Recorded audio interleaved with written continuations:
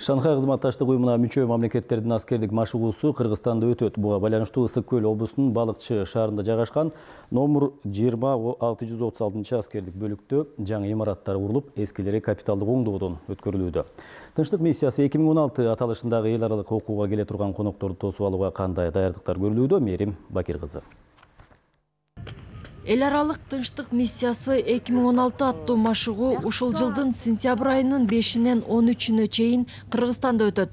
Ушул убакытка чейин баардык даярдыктар көрүлүп бүтүшү керек.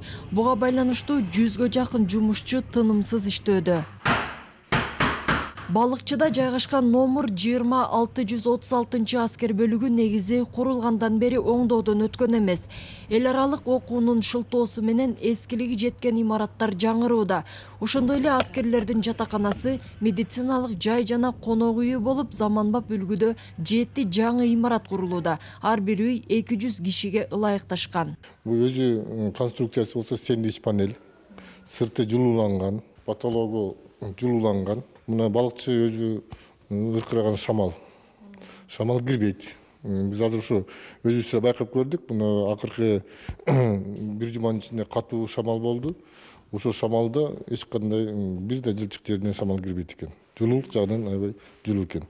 Полу өзү утепленный казакстан кыргызстан орусия тажикстан жана кытай мамлекеттеринин аскердик машыгуулары бир жумага уланат. Биргелешкен окууну алаканга салып көргүдөй кылып айнектен төрт кабаттуу имаратта курулуп жатат. Төрт этаждуу имарат болгондуктан төртүнчү этажында э, пресса болот үчүнчү этажында биздиники э, ажоолор отурат.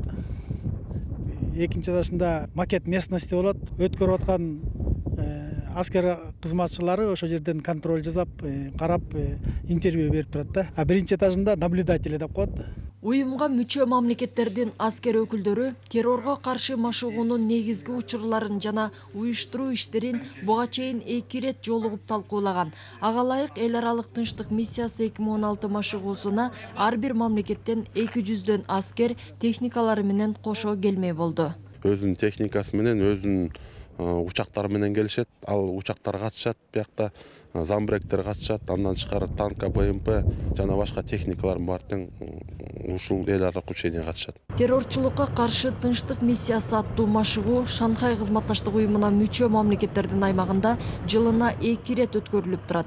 Буга чейин уюмга кирген өлкөлөрдүн баарында болгон. Быйыл кыргызстанда биринчи ирет өткөрүлмөкчү. Машыгуунун максаты терроризмге биргелешип каршы туруу.